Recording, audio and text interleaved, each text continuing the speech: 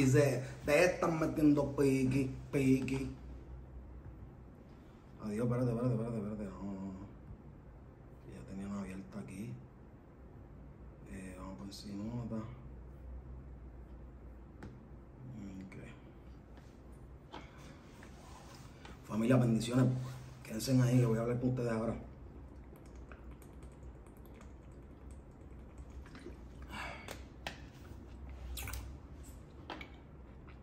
Queda duro.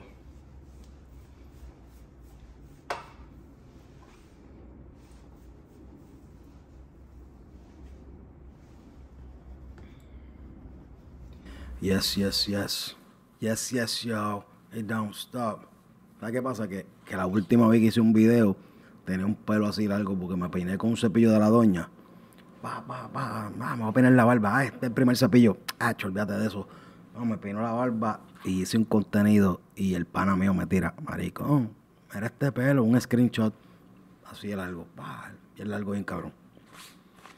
Entonces hoy, pues, tú sabes cómo soy yo, natural, ahí, espontáneo, de, ahora para ahora. Y quería saber si, ¿sabes? Pero, nada, familia, bendiciones. Esta es la fucking libreta, baby. Este es el libretici. Y hoy quiero que hablemos de algunas cosas. Quiero, quiero contarles mi experiencia a través de esta libreta. Contarles mi experiencia en PR. Ya la libreta está viajando, papi. Ya la libreta está viajando. Ustedes miren lo que van a hacer. Ya el libretici se montó en un avión a cubrir un evento. Eso quiere decir que ya los pasos se están dando.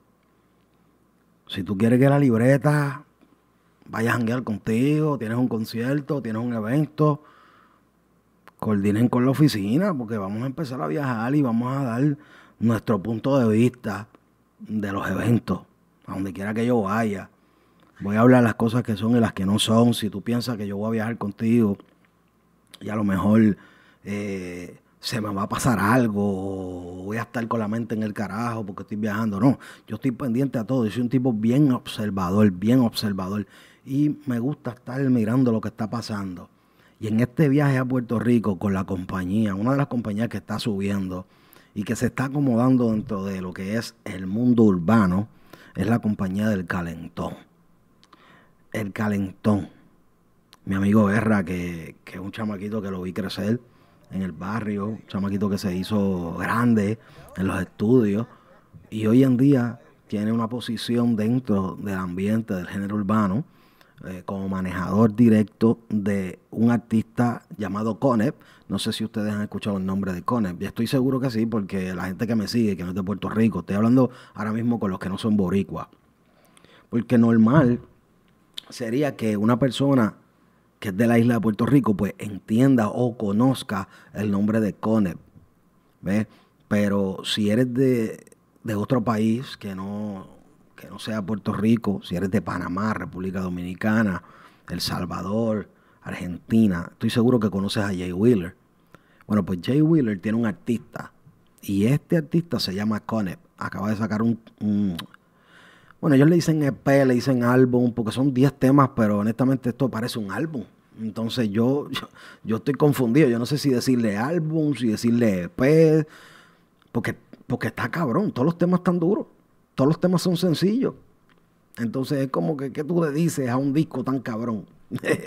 ¿Cómo, tú, ¿Cómo tú identificas a un, un EP que está tan duro como los mixtapes de antes? Pero está tan completo como un álbum. Entonces es como bien difícil para identificar. Pero bueno, el punto es que este álbum, o este EP, como tú lo quieras llamar, se llama La Conexión. La Conep, con la P, la Conep, la Conexión. Un poquito, un poquito ahí, me trabé un poco, pero bueno. La conexión salió el día 18 de agosto. Ahora, ese mismo día, 18, a las 7 de la noche, yo estaba en un avión camino a la isla de Puerto Rico para ser parte de la experiencia La Conexión. Cuando llego, bueno, salgo de aquí, quiero explicar todo.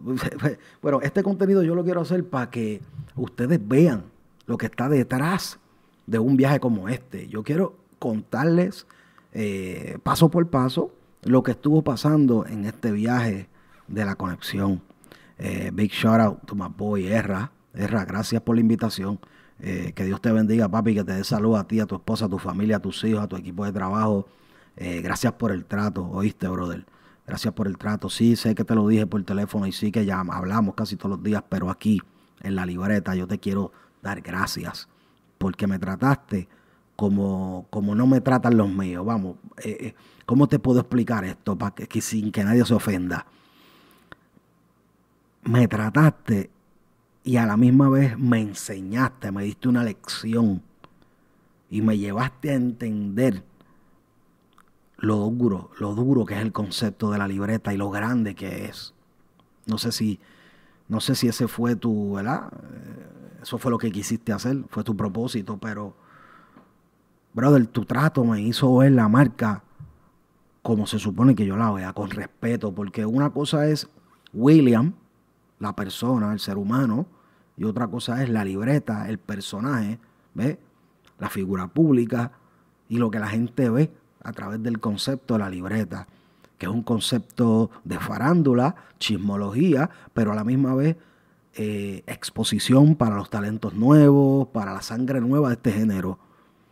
Y tú me diste palabras desde que, desde que pisé la isla brother, tú te mantuviste al tanto y, me llevaste, cosas que necesito, porque acuérdese de una cosa, familia, yo estoy solo en esto, yo no tengo 14 personas que trabajan conmigo, yo soy una persona que cargo esta marca solo, grabo, edito, hago colorización, mezclo voces, o sea, yo aprendí a hacerlo todo solo sea un poco de iluminación, sea un poco de comunicación, sea un poco de todo.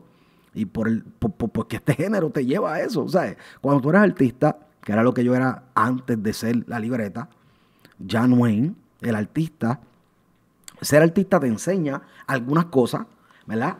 Eh, déjame beber un poquito de agua porque hoy vamos a hablar. Hoy vamos a, hoy vamos a estar un rato aquí conmigo. Bueno, el punto es que cuando tú eres artista, tú eres artista, a ti te hacen todo. Eso lo dijo Don Chesina en una entrevista con Molusco en estos días. Dijo, a mí lo que me afectó fue que cuando yo era artista, a mí me hacían todo. ¿Me entiendes? Entonces, cuando me tocó hacer las cosas yo, no sabía qué hacer, no sabía quién llamar, no sabía con quién comunicarme. Y eso es algo que yo le aconsejo a los artistas que se mantengan siempre en comunicación con su equipo de trabajo y que aprendan, aprendan a hacerlo todo, a jugar todas las bases. Si tú eres un artista nuevo y tú estás viendo la libreta, baby, la libreta aprendió a grabarse solo, a editar las cosas del solo. La libreta sabe hacer ritmo, escribe los temas. Yo sé hacer mis videos, sé editarlos, sé sacarlos para la calle, sé bregar con las plataformas digitales. O sea, es algo que tú como artista en el 2023 tienes que estar equipado, preparado, capacitado. Si tú no estás capacitado, papi, tú puedes tener 15 años y si tú no sabes grabarte, estás jodido, cabrón. Estás jodido, te lo digo desde ahora, estás jodido. Vamos a desarrollar esto y yo les voy a explicar a ustedes, o sea, al nivel que está esta nueva generación, o más bien al nivel que está el calentón, el movimiento de CONEP, el movimiento del calentón, o sea, yo quiero que ustedes entiendan. Experiencia de viaje.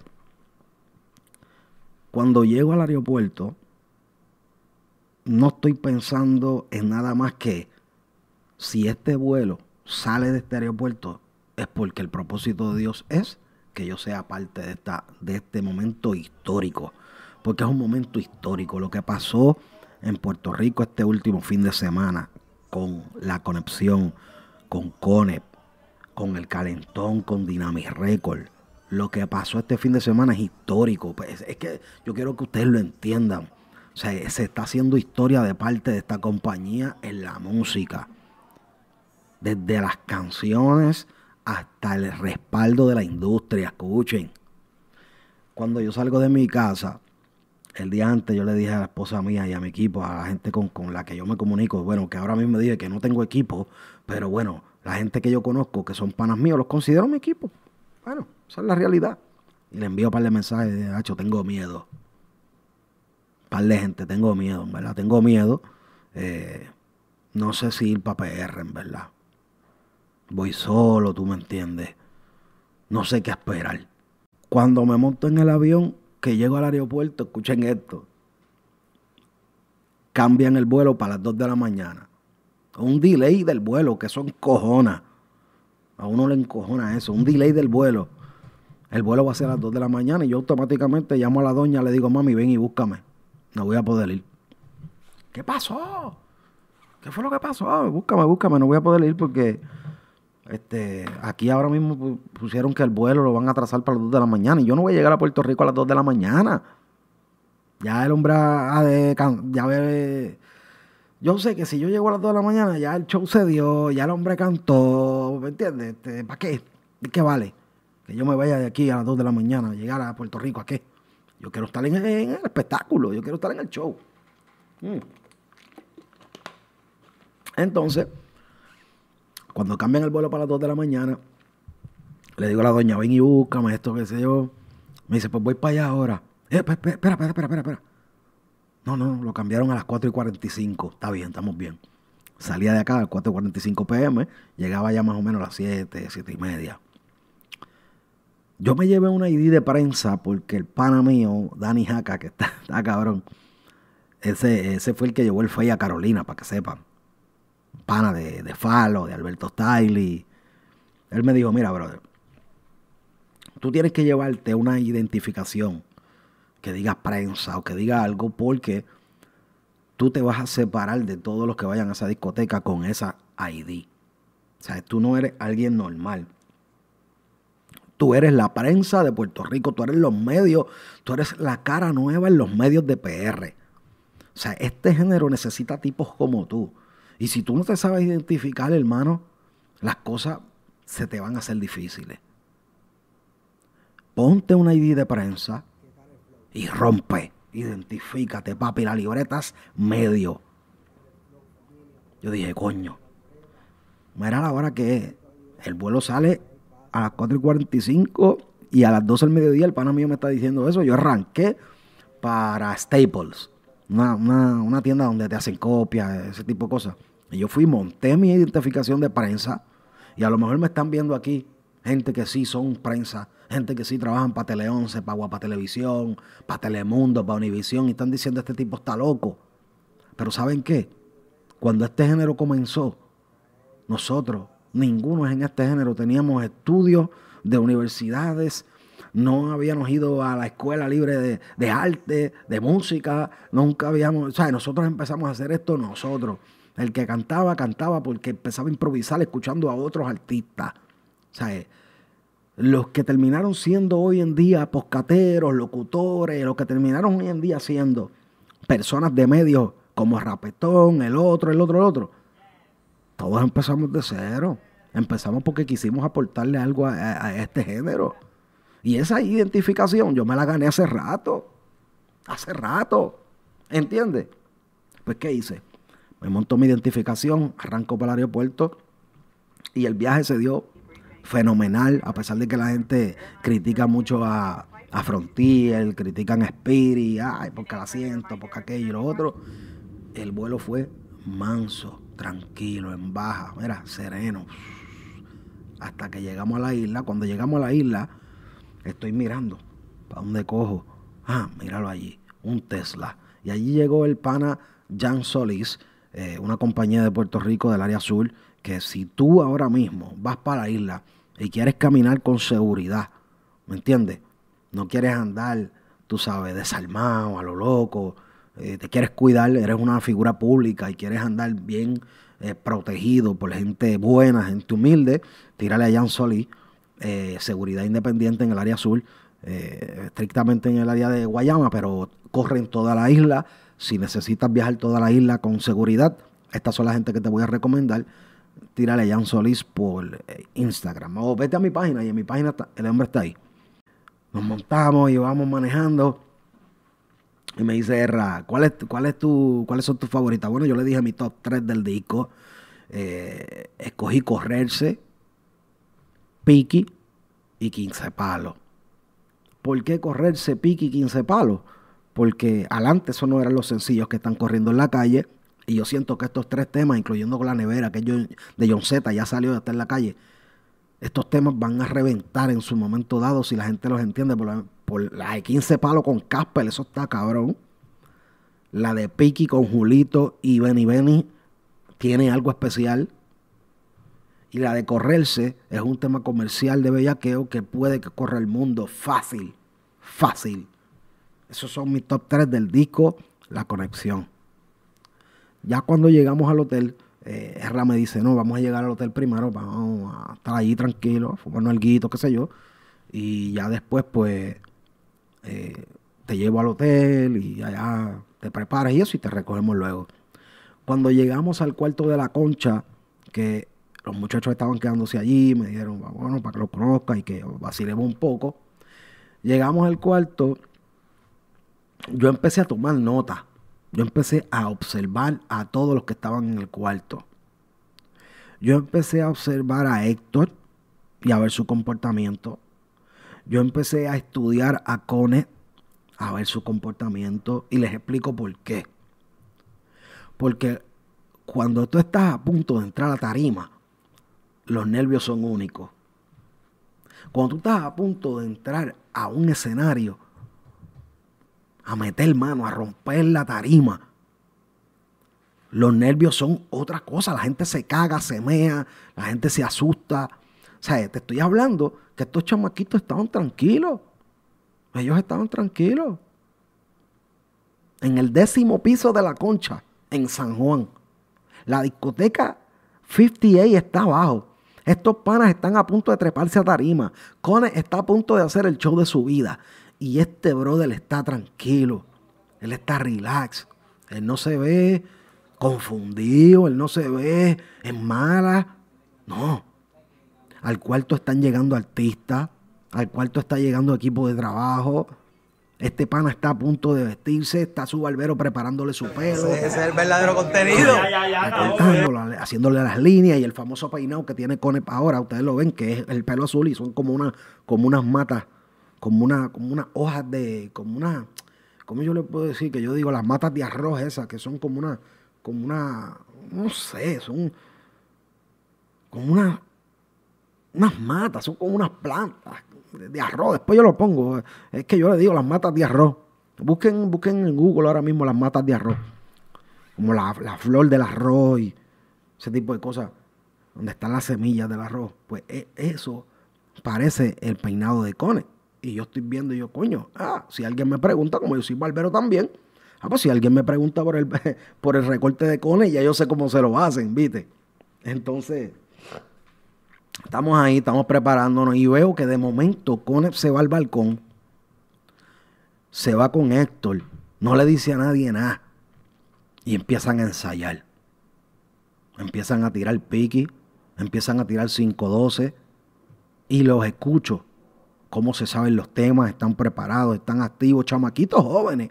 No estamos hablando de ancianos, no estamos hablando de gente que lleva tiempo en este negocio, que llevan 10, 15 años de carrera, ya sabes lo que te... No estamos hablando de chamaquitos que andan con hambre, que estos feelings que te dan a ti antes de entrar a tarima son nuevos para ti, a pesar de que a Queen todavía le dan nervios, a Polaco le dan nervios, a MC Ceja, ¿me entiendes? Yo sé que a lo mejor a Wisin y Yandel también todavía le dan nervios, pero cuando tú estás comenzando tu carrera y tú estás haciendo espectáculos de esta índole, tú sabes bien, papi, que te pone, papi, te tiemblan las piernas, mi hermano, porque en ocho meses ya tú tienes un disco en la calle.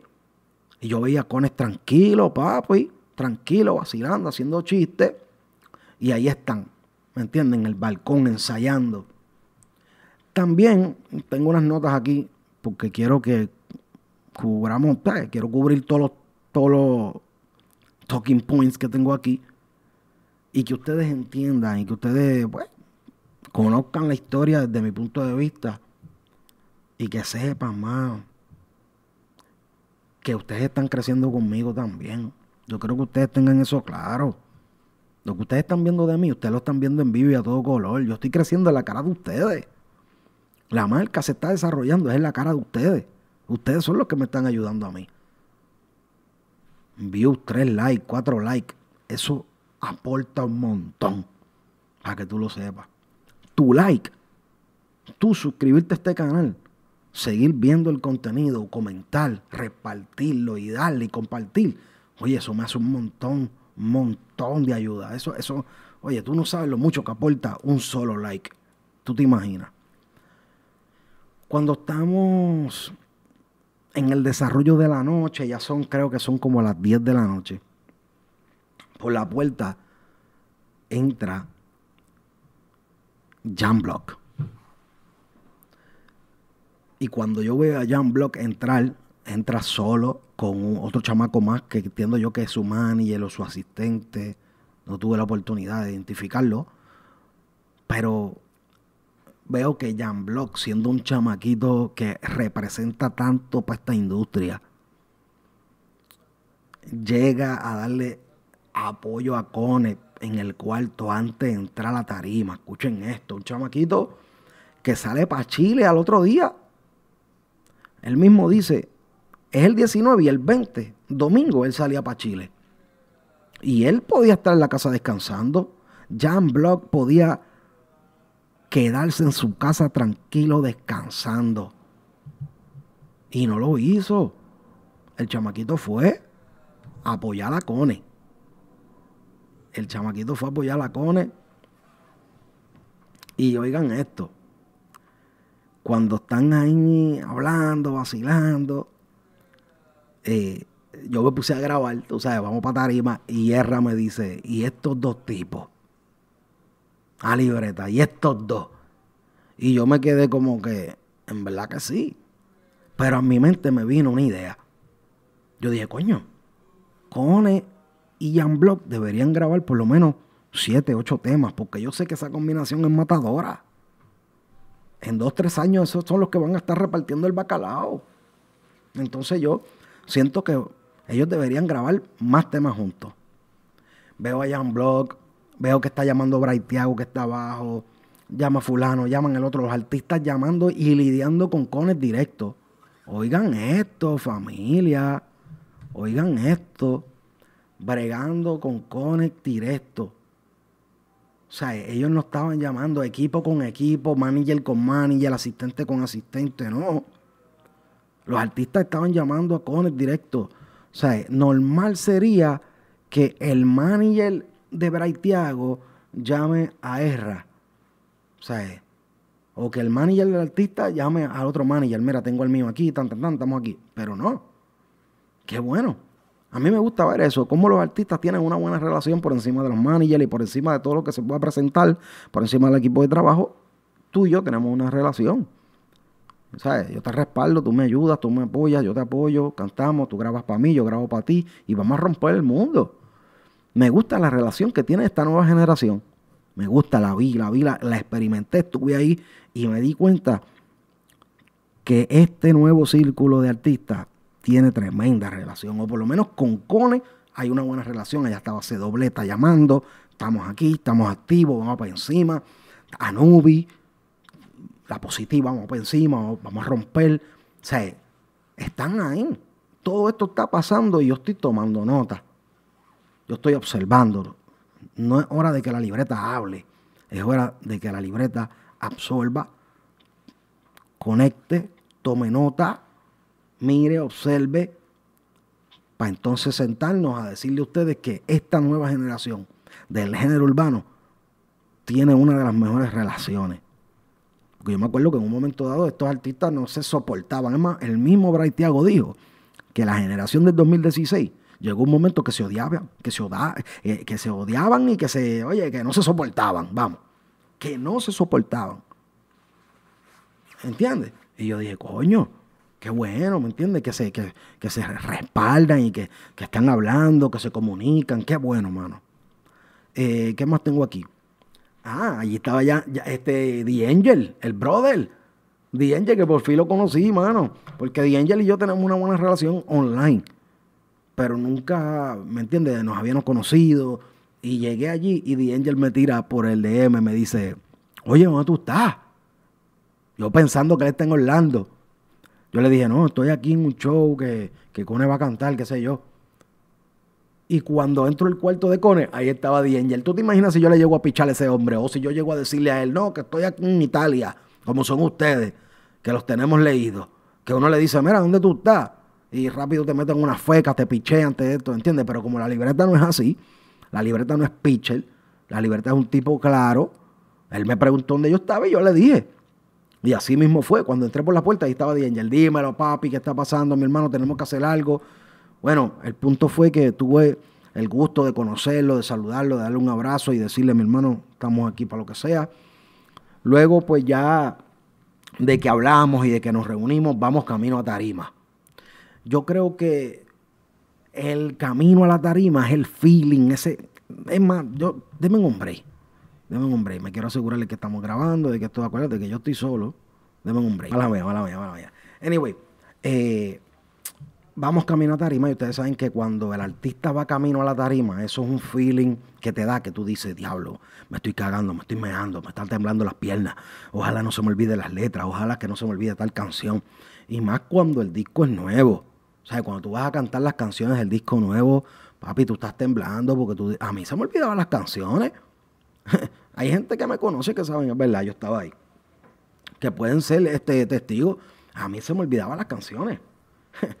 yo decía, diablo, es que esta canción la grabé hace par de días. Yo no sé por qué la tengo, la tengo que cantar hoy, ¿me entiendes? Mm. Entonces, pues nos vamos a un cuarto que es de prensa. Cuando entramos al cuarto hay un, un, Dios mío, un board, un bulletin board con los logos de las compañías, ahí se van a tomar fotos y algo que me entristeció, y lo voy a decir aquí con toda la valentía del mundo, lo voy a decir con toda la sinceridad que me, que me, caracteriza, escuchen bien. Puñeta, ¿por qué carajo en este party no estaba Trap House Latino? ¿Por qué no estaba Mikey backstage? ¿Por qué no estaba Chente? No entiendo. ¿Por qué las plataformas de Puerto Rico no estaban en el álbum Release Party de Cone? ¿Por qué ustedes hicieron eso? ¿Por qué ustedes no respaldaron ese evento? Las plataformas que son, tú sabes, las plataformas más duras de Puerto Rico. ¿Cuáles son? Molusco, Mikey Backstage, Chente y Drach. ¿Cuáles son las plataformas más duras de PR que tienen que ver con, el género urbano? Que cada vez que un artista quiere entrevistarse, va para donde ustedes. ¿Por qué ustedes no estaban allí respaldando a este chamaquito que va a ser una torre? No entiendo. Yo vine de Orlando y yo le caí, papi. Yo no estoy jugando. Artista que me está escuchando, papi, si tú coordinas las cosas bien y tú me tiras con tiempo y tú tienes un evento en la isla, un evento grande, que te vas a ir, papi, que vas a botar la casa por la ventana, y tú me tiras con tiempo, tú puedes contar con el respaldo de esta plataforma. Eso es por ley. Ahora, yo no sé cómo están bregando las plataformas de la isla, porque yo me di cuenta que no había ninguno allí, mano. Y era un súper, súper, súper evento. Histórico. Yo digo que este evento fue histórico. ¿Entiendes? En la música, en el género. O sea, este chamaquito ya mismo va a ser otra cosa arrancó muy rápido y, la aceptación que está teniendo del público es mayor, ¿entiendes? Y a mí me, eso me hizo sentir mal. Mal. No ver representación de Gallimbo Studio allí, no ver representación de Traps House Latino. Eh, Dios mío, ¿cuáles son los otros? No ver representación de, de, la pulpa de Mikey, del otro. O sea, ¿qué hay que hacer, hermano? No sé cómo bregan allá en la isla. Pero yo digo que si hay un evento y hay artistas urbanos, yo me tiro, me tiro para ver, ¿me entiendes? Para ver lo que está pasando y también hablar de eso. Pero bueno, yo me quedé frío porque yo dije, no veo ninguna de las caras conocidas de la gente que hace podcast, que hace, tú sabes, entrevistas. Me, quedé bien frío. Que la libreta fuera el único allí. Frío. Y de momento, eh, entra Wheeler. Ah, entra Wheeler. Y le dice, caballero, ¿me puedo tomar una foto con usted? Le dice a Cone, caballero, ¿me puedo tomar una foto con usted? Y me gustó que el pana, yo no sabía que venía del show de lugar y llegó hasta el show de Cone para cantar y para meter mano y para darle su apoyo emocional y ya tú sabes, porque es su artista y tiene que estar ahí, pero es artista que si su artista está cantando, ellos no van. No como Mayweather, que cada vez que J Bonta pelea, él está ahí. Y se supone que si usted tiene un artista, usted esté ahí respaldando, ahí. No importa. Que la atención no es tuya esa noche. No. Yo personalmente no le presté atención a Jay Wheeler y le explico por qué. Porque yo fui, yo fui fue a apoyar a Cone.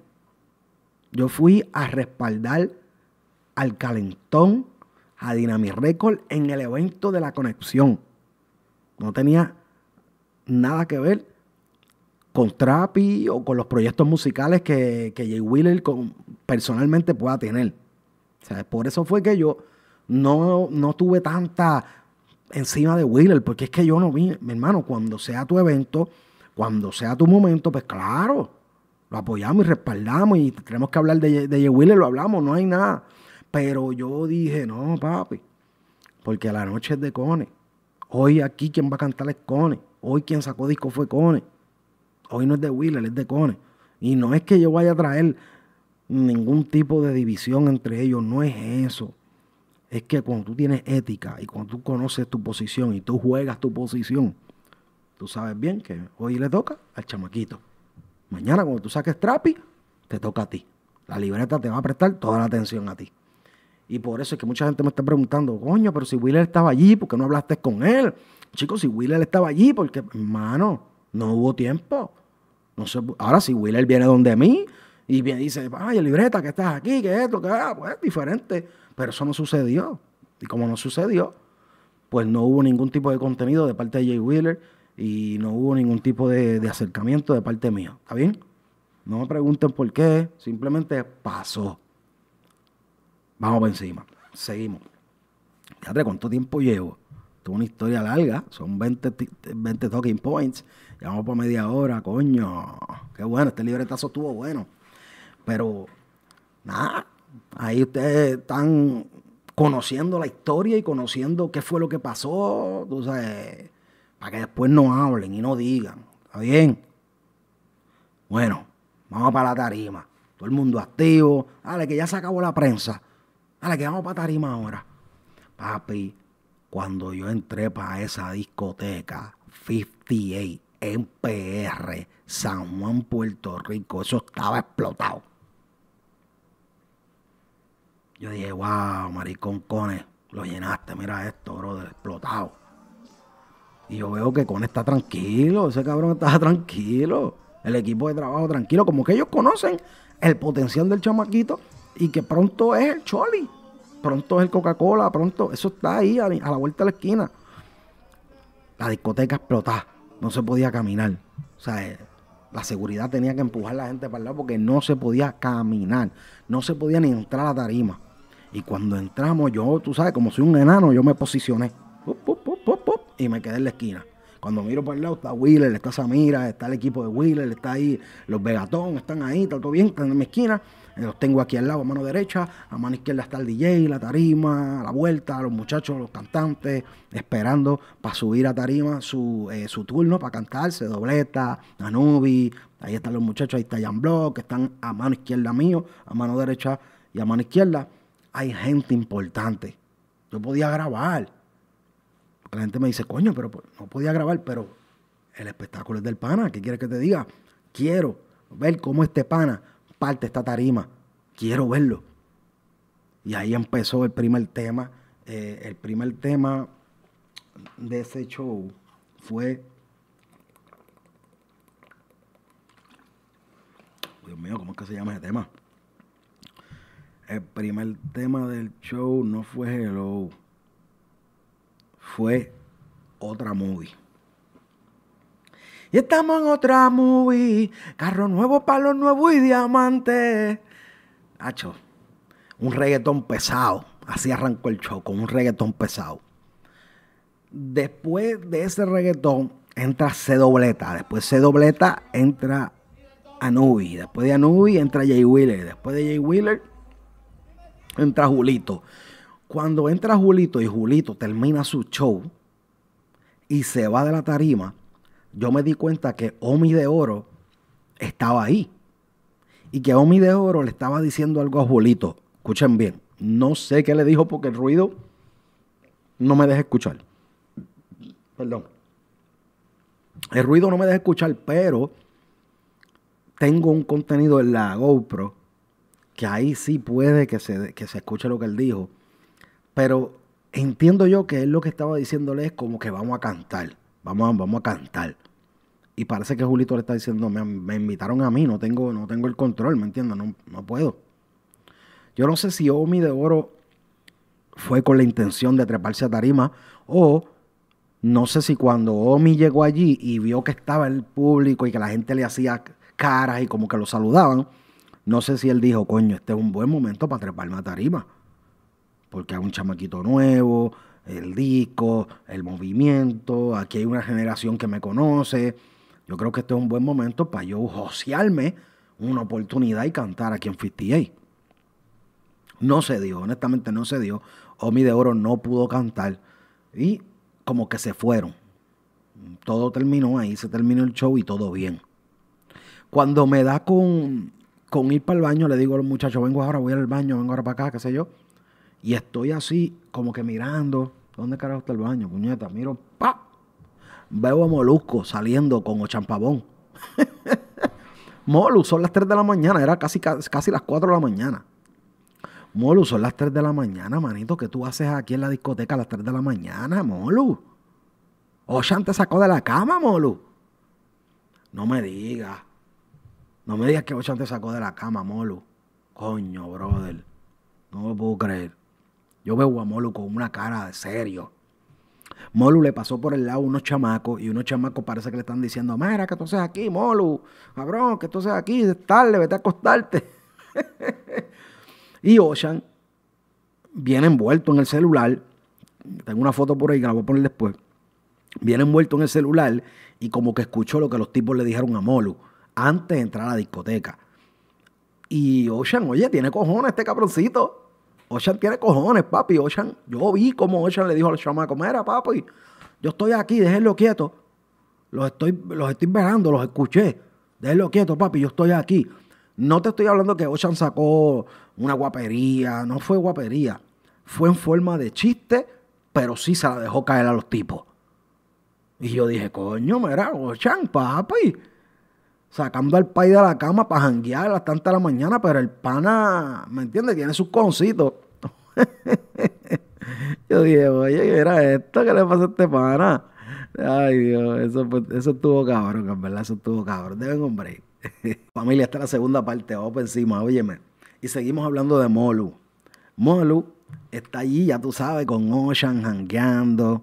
Y yo empecé a escanear. Dije, bueno, si Molusco está aquí, en esta discoteca tienen que haber muchas caras conocidas. Aparte del combo que anda con nosotros, que todos son conocidos, aquí tienen que haber par de caras conocidas. Vamos a ver, vamos a escanear. Ya se acabó el espectáculo. Ahora es tiempo de farandulear y de papariciar. Acuérdate que yo soy un paparazzi, soy un medio, soy un influencer, soy un opinador.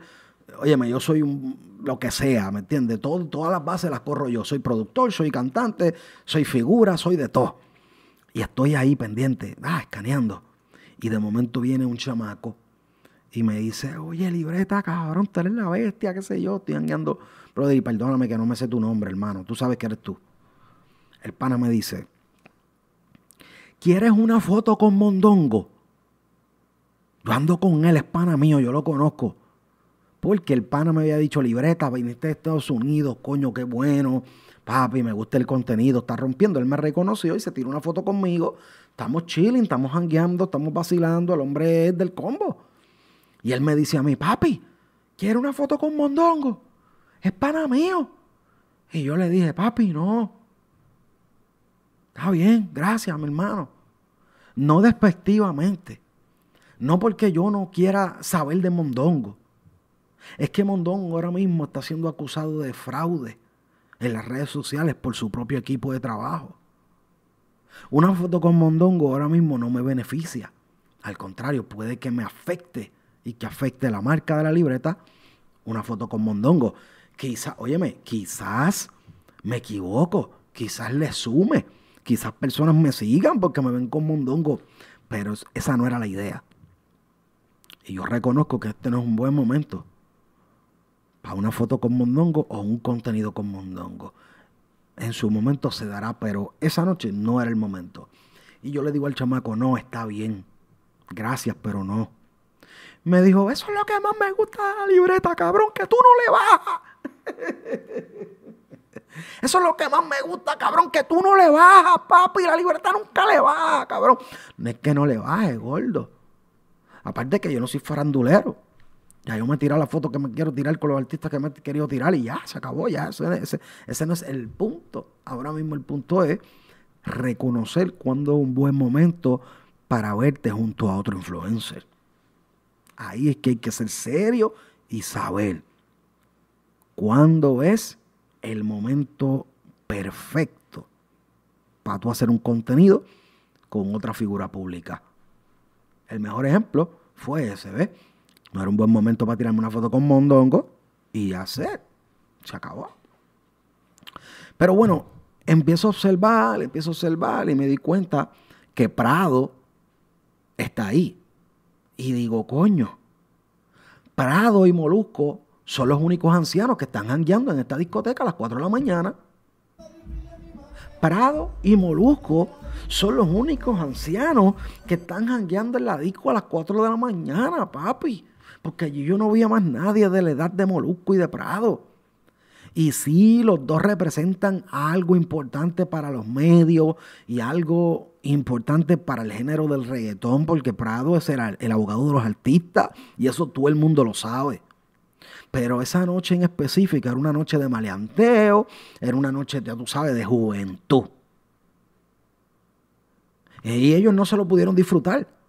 Yo veía a Prado que estaba así, mira. Molusco así. Cambien la cara, cabrones. Ustedes son la cara de esta discoteca ahora mismo porque sí es verdad que aquí hay muchos chamaquitos famosos, pero ustedes son más famosos, son más conocidos. Entonces entra un americano o entra una persona que vino del extranjero a la discoteca y se encuentra con Molusco, con una cara, papi, de aborrecido, de divorciado, una cara, papi, que olvídate. Y comprado que tiene la misma cara de Molusco. Los dos vinieron con la misma cara. Encojonados, aborrecidos. O sea, eh, cabrones, de verdad, están poniendo música cabrona, disfrútensela. La discoteca es para disfrutar, para botar el golpe, para pasarla cabrón. Y veo que ustedes están aquí como que con una cara encojonado pues este no es lugar para ustedes. Esta discoteca no es para ustedes, porque esta discoteca es para disfrutar. Molu, si vas a ir para, allá, para 58, con la cara de, encojonado, nadie me mire, nadie me mire. Ah, no vayas, papi. No vayas, porque era mi primera vez yendo y lo primero que me encontré fue con la cara tuya. Entonces no vayas. Porque vas eso se pega. Eso es lo que hace que se pega, mi hermano. Mejor ni vaya. Quédate en tu casa. Pero ¿para qué tú vas? ¿Para ver a la Ocean? yo quiero saber si es eso, porque Ocean la estaba pasando cabrón. Ocean y los que, y los que actúan con él, el que hace la voz de las mujeres, las canciones, y el flaquito que se cree que es Gantel. Ellos la estaban pasando cabrón. Pero Molu no, Molu estaba tristón. Molu vuelve con la doña, bendito, que a ti la vida te está haciendo daño. Vuelve, chico. Tú estás viejo para eso ya para estar en la discoteca a las 4 de la mañana sufriendo, no. Ocean, no saque a tu pay así, ¿viste? Está sacando a tu pay así, mira, se cogió un libretazo ahora. ¿Me entiendes? Si tú lo llegas a dejar en la casa, esto no estuviera pasando. Él se cogió un libretazo por estar saliendo a las 4 de la mañana con la carota de viejo, el viejo encojonado. Me sacaron de mi casa. Mm. Molo, coño. Pero fíjate, se me alegró el día, después de ya ver a Molu y después de verla parado, triste y botando las penas con reggaetón.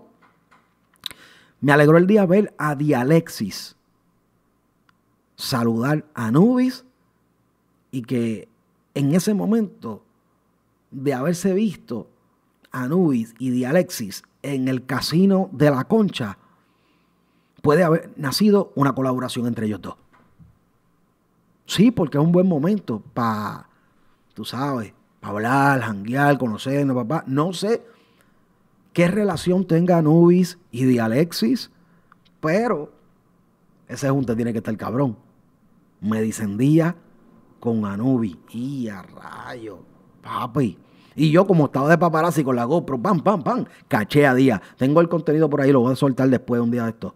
Es más, le digo a Día Alexis ahora mismo que coja ese contenido de paparazzi y que lo ponga en un video musical de los del, que yo sé que está haciendo videos musicales con conceptos 90s, ¿me entiendes? No como se ven ahora, que se ven bien claritos, 60K, no. Están utilizando nuevas cámaras eh, eh, que se ven 720, ¿me entiendes? Que se ven con la calidad de los 90.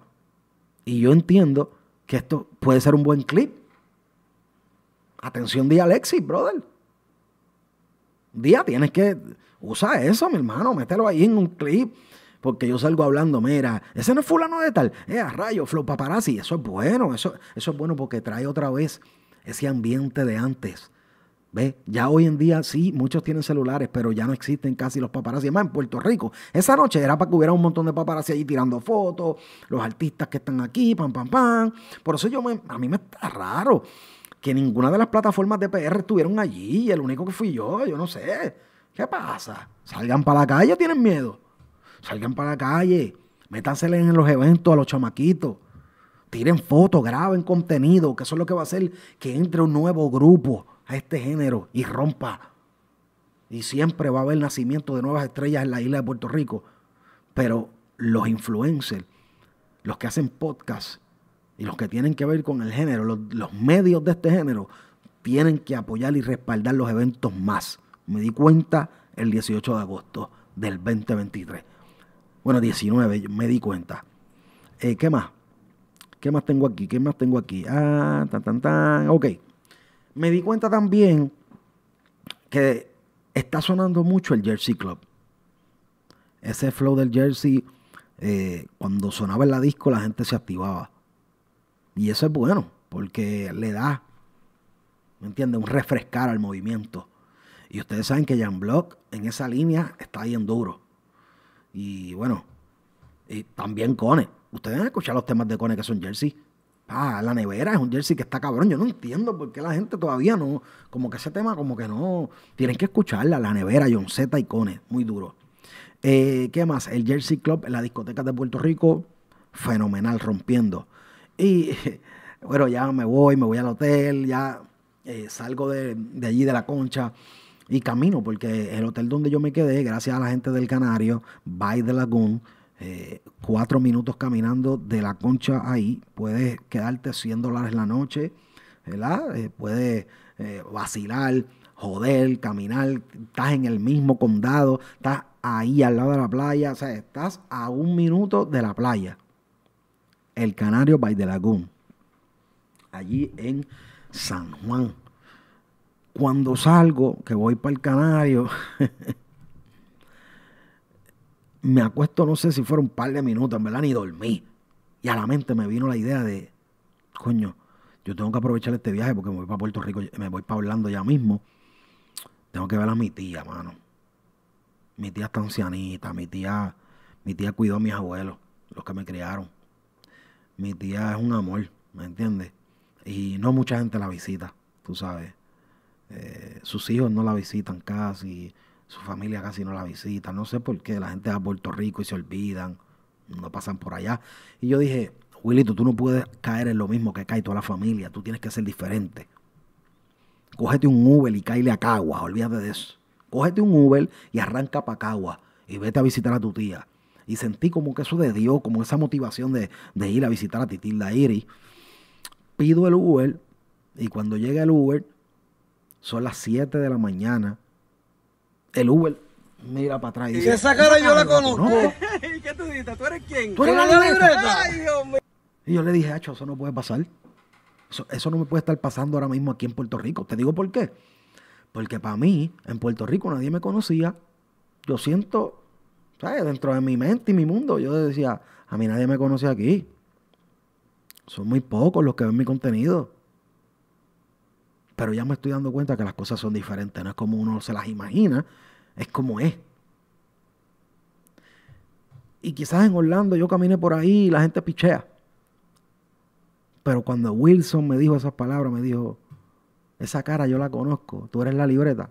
Ahí entendí que este proyecto arrancó y que no hay vuelta atrás y que vamos por encima y que vamos a romper, ¿me entiendes? Y que no le vamos a bajar y que mientras estemos aquí en esta mesa con estas luces y este micrófono, el género del reggaetón puede apoyar conmigo, puede contar conmigo. El género urbano, digo el género del reggaetón, porque para mí es el género del reggaetón. Pero bueno, dentro del género urbano hay trap, hay drill y hay muchos artistas grandes. El género urbano puede contar conmigo. Desde que siempre que yo tenga estas luces, este micrófono y ese teléfono y esa cámara y esa oportunidad de llegarle al mundo, porque acuérdense en esto, tú no necesitas una cámara, tú lo puedes hacer con el teléfono, tú lo puedes hacer con el teléfono, tú con tu celularcito puedes enviar mensajes, puedes decirle al mundo lo que tú piensas, ¿entiendes? Y siempre y cuando yo tenga ese teléfono, esa cámara y esa oportunidad de hablar y de comunicarme, el género urbano puede contar con la libreta, esa es la realidad. Pueden contar conmigo, yo siempre voy a estar en la esquina de ustedes. Y ahí va creciendo la libreta, mano. Vamos creciendo. Mira, mira cómo Wilson se dio cuenta que yo me le monté en el taxi. Y yo andaba engafado, engorrado, escondido. Porque ya estaba amanecido, estaba cansado y no quería que me viera la cara de desbaratado. Pero sí, así pasó. Y luego me fui para donde mi tía, la visito, hablo con ella, hablamos de Jacob, hablamos de todo el mundo. Eh, para aquellos que no conocen, Jacob es primo mío y, y pues me preocupa cuando no pega un tema o cuando las cosas están calladas me preocupa, tú me entiendes, porque es familia y me gusta ver su éxito y me gusta que él siga creciendo y hablamos y, conversamos y qué sé yo. Y luego pues cogí otro Uber para San Juan, me voy y me quedé con una súper impresión. Me quedé con una impresión gigante de lo que representa el calentón para el género urbano. Me alegra saber que es uno de los míos. Me alegra saber que, que de mi barrio todavía están saliendo gente para aportarle algo mayor a este género urbano. Cuenten conmigo, la gente del Calentón. Erra, sabes que cuentas conmigo, brother. Gracias. Estoy agradecido por el trato. Estoy agradecido porque todos me acogieron con humildad, con sencillez. No me la pusieron difícil para crear contenido, no me la pusieron difícil para grabar, para llegar, para alcanzar a los artistas y tener, ¿me entiendes? Ese all access que tanto las plataformas piden y quieren y necesitan.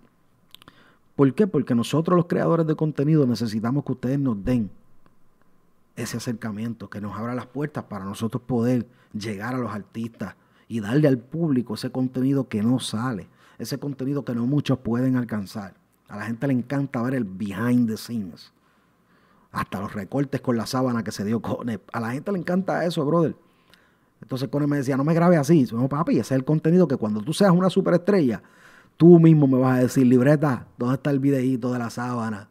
¿Dónde está el videíto porque ese es el contenido real, la vida real. El ensayo en el balcón, esa es la vida real de muchos artistas. ¿Me entiendes? Y el, el público y la gente que está detrás de sus teléfonos, esas cosas no las ven tan fácil. Entonces ahí entran los medios como yo, que les gusta sacar contenido que, que, que no es tan, ¿me entiendes? Fácil grabar a un artista y llegarle hasta, hasta su momento, ¿me entiendes? Personal. A mí me gusta llevar a la gente con una experiencia personal del artista, no la movie, no la película esa que todo el mundo vende, de los carros, del dinero, de que no pasa necesidades, de que el artista es una superestrella y siempre camina en el aire. Ese no soy yo. A mí me gusta llevarle a la gente un contenido más íntimo del artista, de su compañía y de lo que se mueve a sus alrededores. Así que gente, la experiencia del calentón, la experiencia de la libreta fue única este último fin de semana, 18 y 19 de agosto, y va a ser un recuerdo bonito cuando pasen cinco años y volvamos a hablar de este momento. Bendiciones a Conep, bendiciones a Dynamic Record, tienen un super artista, bendiciones a Jay Wheeler, la pegaste hermano, bendiciones a Ezra, al Calentón, a la seguridad, a Jan Solís, gracias, brother, por cuidarnos. Y gracias a Héctor, su esposa, igual a la esposa de mi amigo Erra, a todos, a todos, en fin, a todos, al barbero, al camarógrafo Lorenzo, a todos. Gracias. Gracias por acoger a la libreta y gracias por tratarme con cariño y con humildad. Sobre todo con humildad.